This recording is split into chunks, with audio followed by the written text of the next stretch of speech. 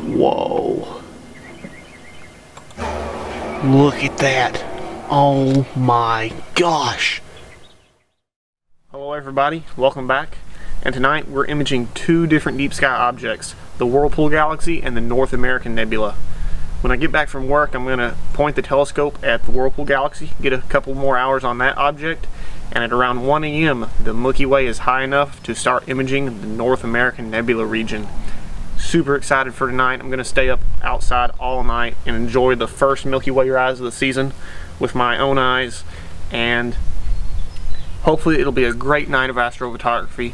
Can't wait to use this setup on some of these large nebula regions of the Milky Way. So join me in tonight for this great night of astrophotography. My name's Trevor and you're watching Astropilot.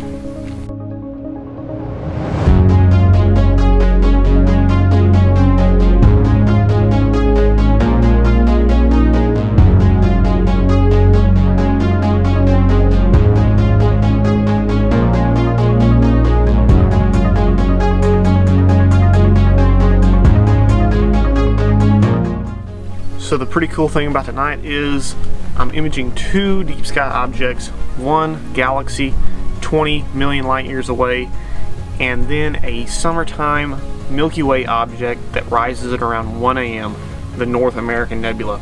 The crazy thing is, it was this time last year when I was just getting into the hobby and I was using a stock DSLR and a clockwork tracker and a uh, 18 to 55 millimeter kit lens.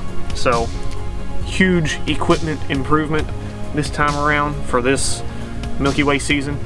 Um, super excited for all these objects that are coming out soon uh, in the core of the Milky Way and the surrounding areas. So we're going to put this rig to the test tonight on the North American Nebula and the Whirlpool Galaxy. Planning on shooting uh, three minute exposures at ISO 800 on both objects and looking to get at least two more hours on the Whirlpool Galaxy and around three, hopefully, on the North American Nebula. Hopefully it'll all go well. I will see you guys when I get back from work at around 11 and we will start shooting the Whirlpool Galaxy. Catch you in a bit. Alright guys, so it is 10.40 p.m. right now. I just got back home from work. The moon, it's about a half moon uh, probably around 45 to 50 degrees up in the sky right now setting in the west. That should be not a problem it shouldn't be a problem for the targets we're shooting tonight. That's a really big jet but it's time to uncover the telescope get everything up and running and uh, we can start shooting the Whirlpool Galaxy. So we're focusing the camera on the bright star of Vega. Vega is back for the year. It's rising in the east northeastern sky right now and it's a perfect bright star to focus the camera on. So we got the Bahtinov mask on and we'll get those diffraction spikes. I'll turn the ISO up to 1600 turn the screen brightness up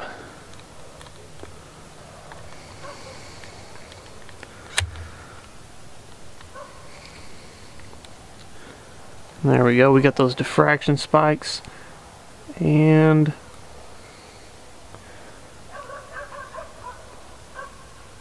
that looks like it's in focus to me, so we'll lock it down.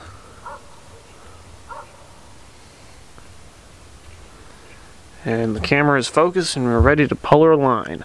I like to focus first before I polar align just because I'm uh, messing with the balance and stuff slightly while focusing so I just uh, focus before I polar align just where I'm not messing with the mount any uh, more than I have to. So I just did a precise polar alignment in SharpCap with Star Adventure. Now it's time to find the Whirlpool Galaxy with the uh, red dot finder and camera. I'm going to break my back uh, trying to frame it up like this because I don't want to frame it up the other way because I don't want to have to flip, do a meridian flip. So I'm going to see if I can get it framed up by aiming back that way just a tad, which I think I'll be able to do. It's because it's high enough right now, but we'll see. So I'm going to go ahead and point it in the direction. I know where to point the red dot finder, so should be might be doable.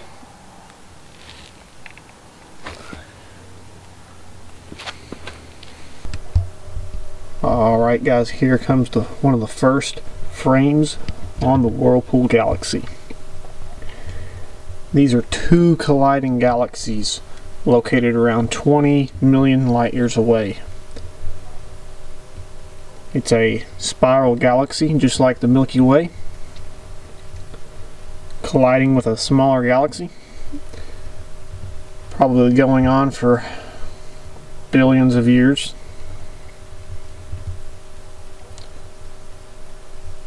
Alright, here it comes. Three, two, one. There it is. The Whirlpool Galaxy.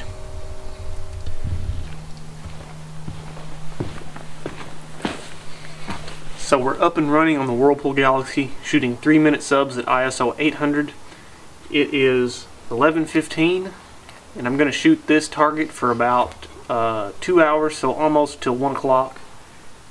And then we're going to start shooting the North American Nebula.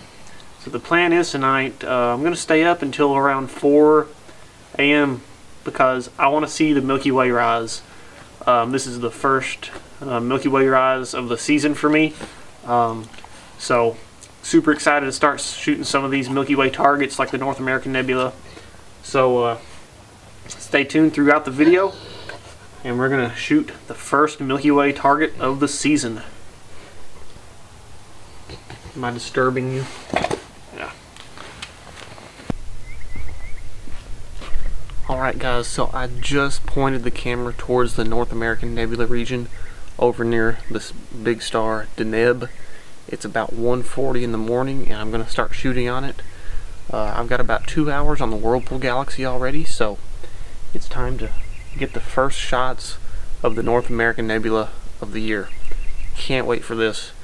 Let's go ahead and get it framed up and start shooting again.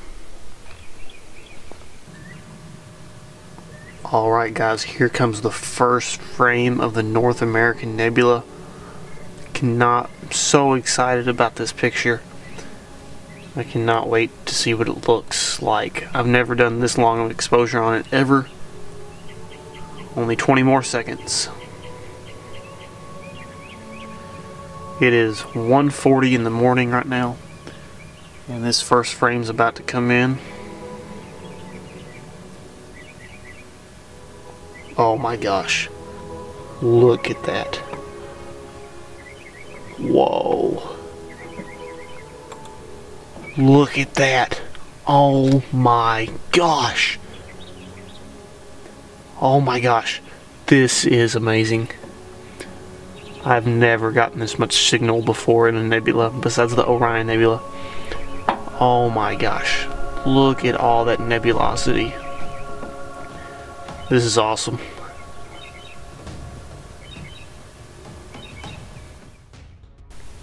Alright guys, so I'm all up and running on the North American Nebula. It's awesome, awesome to see this target again. I've been excited to image this thing for a while now. Super excited for all these uh, targets coming out in the Milky Way this time of year now. So I'm going to get about three hours on the North American Nebula. Still amazing to see all that nebulosity in that picture. Um, first time using the uh, light pollution filter and everything and the dithering functions on um, on this object. So can't wait to see the final image of this and the Whirlpool Galaxy. So it's it's about 2 o'clock in the morning now so I'm gonna keep on shooting until about 4 4.30 or so and come back out and take darks and uh, call it a night. So I want to thank you guys so much for watching this video. Stay tuned to the end to see the final images of both these objects. Um, Thank you all for all the support and uh, subscribers and views and comments.